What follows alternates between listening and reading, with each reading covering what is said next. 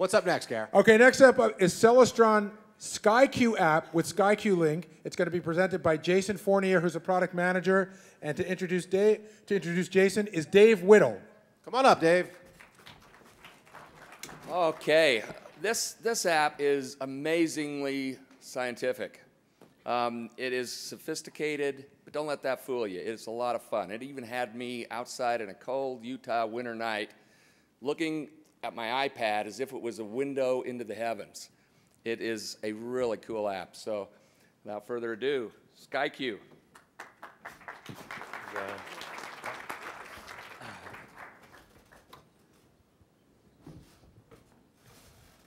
Hi everyone, I'm Jason, and I want to introduce you to the SkyQ app by Celestron.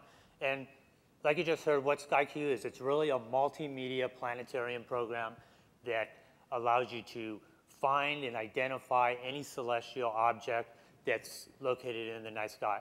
But because uh, an app like this is best presented, you know, outside under uh, dark skies, our friends at uh, our Celestron research department put together a little video presentation that will help highlight some of the cool features that it has.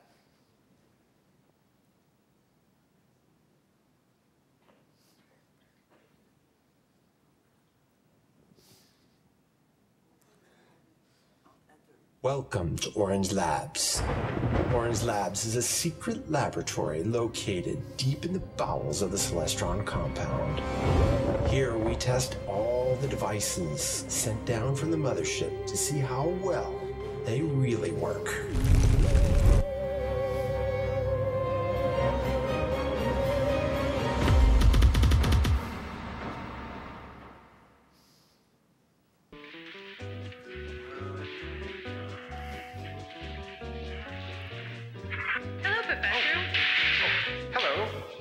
Hello, folks.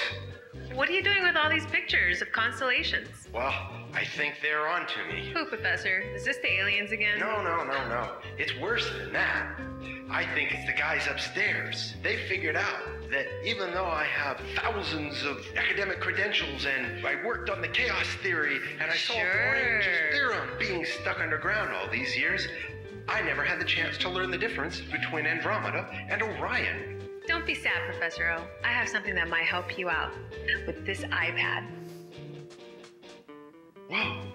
Does this allow me to see through the walls of the building so that I can study the night sky? No, Professor. It has Celestron's super secretive SkyQ app. When you hold it up to the sky, it has the ability to locate and identify thousands of heavenly bodies, and it'll help you raise your sky IQ in no time. Whoa, that sounds splendiferous. But how are we going to use it inside the building if we can't see through the walls? No worries, Professor. It has Celestron's teleportation app installed as well. Just push this button.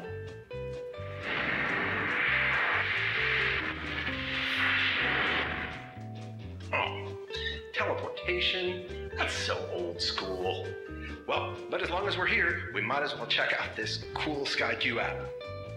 Look, there's the Andromeda Galaxy, and Saturn, and Jupiter. Check out the cool images and audio this pass. M31 is the great Andromeda galaxy. It is one of the easiest to spot and yet the most sublime Hey, the object moon! Hey, I wonder what this moon button does. I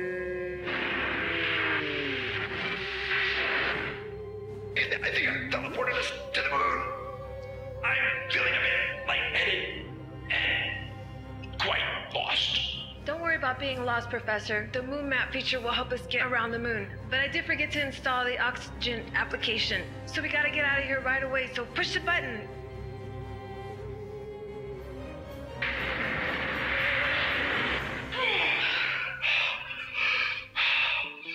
Wow, that was splendiferous. Why? I've in the moon and back in less than two minutes, and I still have the whole universe to explore with this fantabulous SkyQ app. Just don't press the teleport button. Unless you've got the Oxygen app installed.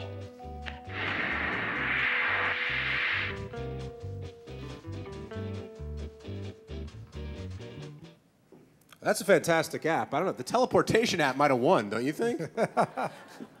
or the moon app. For, for 1999, I'll go to the moon.